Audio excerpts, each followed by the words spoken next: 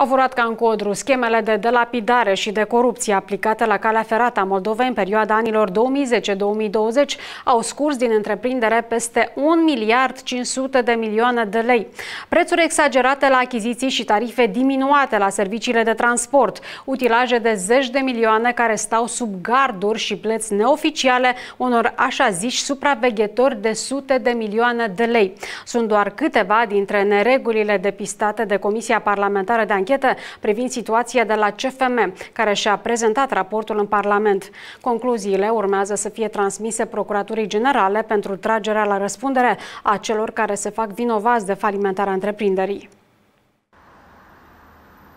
Potrivit raportului prezentat de Comisia Parlamentară Specială, 2012 a fost ultimul an în care calea ferată a Moldovei a avut profit. În 2010, întreprinderea număra 12.000 de angajați, acum numărul lor s-a înjumătățit. De asemenea, în ultimii 10 ani, la șefia întreprinderii s-au perindat 12 directori. Cine se face vinovat de pierderile colosale ale întreprinderii urmează să stabilească structurile de drept. Președintele Comisiei de Anchetă, Oleg Lipski, susține că furturile în cei 10 ani de investigație au fost colosale la calea ferată, puse pe burtă din cauza multiplelor unor scheme de corupție. Doar în 2 ani, 22 de milioane 900 mii uh, lei furturi de motorină, să zicem așa. Dar asta nu-i totul.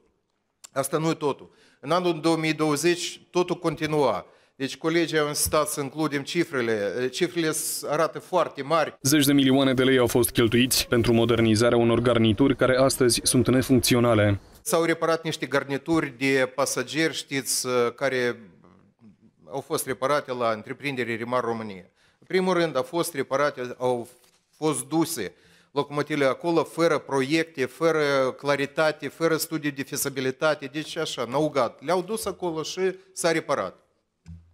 Dar cel mai grav nu e asta. Cel mai grav că acum din acele 5 garnituri, 3 stau sub gard, dar asta în jur de 8 milioane de lei. Contracte, locațiuni, vagoanele date în locațiune, uh, la două companii au dus pagubă de 14 milioane, aproape 15 milioane de lei. Din aceeași categorie fac parte și unele achiziții de utilaj care de 10 ani sunt folosite la tuns iarbă.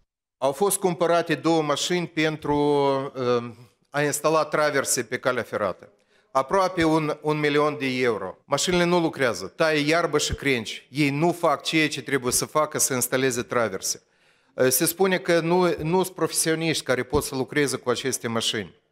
Eu nu înțeleg cum asta poate să fie 10 ani să nu fie antrenați niște oameni care să ușureze lucrul la acei care care traversa este de 300 de kilograme în 4. Alte 330 de milioane de lei au fost cheltuite de managerii de la cale ferată pentru achiziții mărunte făcute la prețuri exagerate. Un acumulator care costă 800 de lei, cumpărat era de cale ferată cu 3800, 3900 de lei și așa piese cel puțin de două ori, de trei ori, de două ori, de trei ori.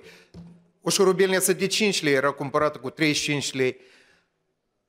Ce agent economic poate să reziste la așa de lapidări? De altă parte, conducerea întreprinderii din ultimii 10 ani a fost acuzată de aplicarea unei politici tarifare păguboase. Serviciile de transport au fost vândute la prețuri mici. În loc de tarife internaționale se aplicau tarifele interioare, transporturi spre portul Giurgiulești, care este un port internațional și ele trebuiau să fie socotite ca tarif, uh, pe tarife internaționale. Calea ferată a pierdut din cauza asta 59 milioane de lei. Pierderi de 120 de milioane de lei s-au acumulat și la transportul pasagerilor care circulau fără bilete, iar un capitol ieșit din comun al pierderilor a fost un așa zis impozit neoficial achitat unor persoane care supravegheau activitatea căii ferate. Aveam un impozit adăugător din partea смотрящие care erau la calea ferată, 2 dolari pe tonă. Dacă noi optimist așa luăm tot, nu, nu mult, nu tare mult, dar pe volumul de marfă transportată care, care avem în 10 ani, asta până la 700 milioane de lei.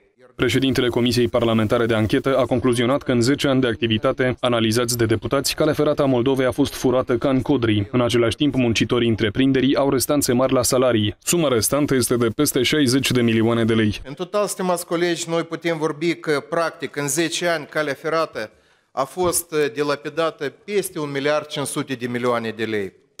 Dar asta încă, încă o dată vă spun. Asta cifra care este optimistă. Deputații comisiei au menționat că în ultimii 10 ani au fost deschise 44 de dosare penale cu privire la încălcări admise la calea ferată din Moldova. Cu toate acestea, doar 10 s-au finalizat cu condamnări. Restul a fost închise. Deputații care au realizat ancheta intenționează să se adreseze procuraturii cu o cerere de reexaminare a cazurilor ce vizează întreprinderea de stat calea ferată din Moldova.